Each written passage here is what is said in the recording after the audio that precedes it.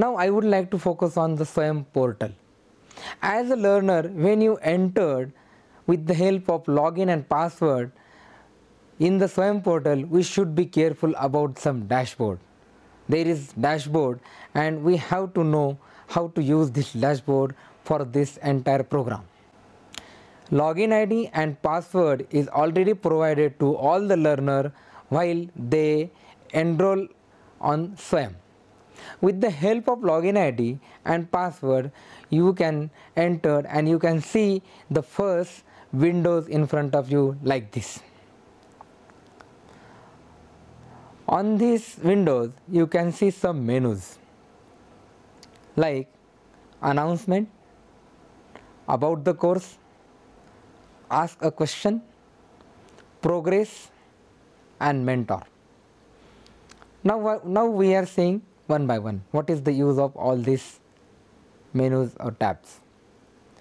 Under the announcement you can get latest updates of the course. There are news and announcement are continuously appear in this box. So as a learner you can always touch with this announcement. So you will update about our courses and all the latest news. There is the another tab which is about the course. I think all the learners are well known about this course.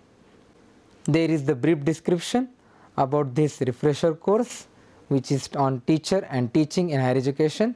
So you can get it the brief description under this menu. If you see there is another one tab is that ask a question. It is very new initiation taken by the SWAYAM and AICTE in this learning platform. So under this ask a question we have a discussion forum. This is a big dashboard and all our learners are coming to on this discussion forum. We can discuss the various issue regarding teacher and teaching in higher education. Under the discussion forum you can ask the question and you can discuss the points with your peer learner.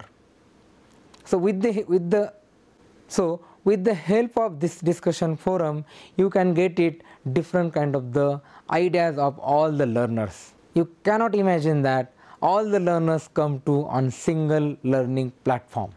This is the great massification on online platform. Now there is the another menu which is the progress. Under the progress you can see there are the different kind of the bullets. First what is the date of enrollment? Second your email id then your name assessment course certificates details subscribe unsubscribes and announcement. And very important thing that unsubscribe from the forum.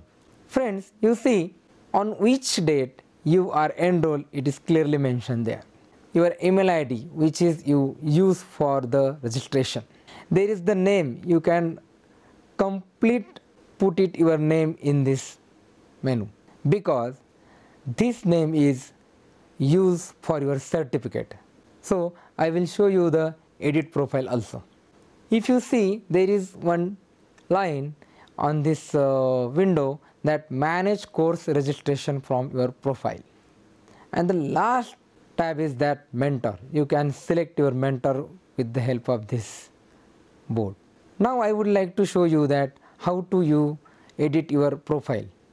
You cannot edit your profile after 31st September 2019 because we are going to close all the registration before this date. So before this date you can check the details of your credentials. For example, check your the spell of the name because it will appear on the certificate. It is request to all of you check the mobile number which is correct. So this is the important two things you have to be careful about your name. You can change it before the last date of the registration. Friends, I would like to show you two things which is very important on the registration form that you should agree to the same terms of service and I agree While you are updating the profile, you have to agree last two the bullets. One is that I agree to SWAYAM terms of service and second is that I agree to follow the honor code. So you have to select and update your profile. Once you update the profile, you cannot make a change after the end of the registration date which is I already mentioned 31st September 2019. Friends, by and large now you are quite aware about the course on teacher and teaching of higher education in India. I hope this course will be assessed. I hope this course will be enlightened to you and entire course will be assessed through the online exam with the help of National Testing Authority at the end. You are now aware about all the learning experiences which you will gain through this course.